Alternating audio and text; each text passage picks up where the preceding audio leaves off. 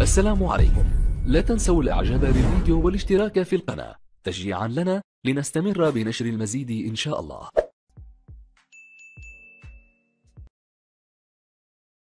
قصة الرجل التي تحكمه زوجته. بهلول شخصية تراثية اشتهر بالطرافة الممزوجة بالحكمة وكان واعظا للأمير. طلب بهلول من الأمير أن يحك أن يحكمه بالعباد منتدى شهر. فرفض الأمير طلبه ولكن بهلول ألح عليه بالطلب إلا أن الأمير لم يستجب له. وبعد الإلحاح والمباراة اتفق الطرفان على أن يحكم بهلول لمدة يوم واحد بشرط ألا يظلم أحدا. وفي اليوم المحدد لحكم بهلول ذهب الأمير للنزهة في حدائقه الغناء مع الأسرة الملكية وعلى رأسهم زوجته الأميرة شخابيط وفي وسط النهار التقى الأمير بهلول حيث كان الأخير يجر وراءه مئات الحمير. فاستغرب الأمير لهذا المنظر وسأله ما هذه الحمير يا بهلول ومن أين أتيت بها؟ فأجابه بهلول مررت بالبلاد يا مولاي وتفحصت أحوال الناس وجعلت ضريبة على كل رجل تحكمه زوجته حمارا. فقال له الأمير متعجبا من المعقول يا بهلول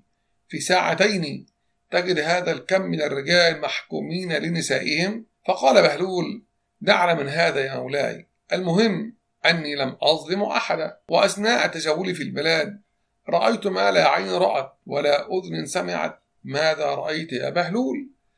رأيت يا مولاي فتاة جميلة جدا جدا. إذا خرجت في النهار تقول الشمس تنحي لأجلس مكانك. وإذا خرجت في الليل يغيب نور القمر. وهو في ليلة البدر فتمنيت أن تكون هذه الفتاة زوجة لك يا مولاي. فالتفت إليه الأمير وقال له اخفض صوتك بهلول كي لا تسمعنا الأمير شخابيط. فقال بهلول ولأنك أمير فهات حمارين.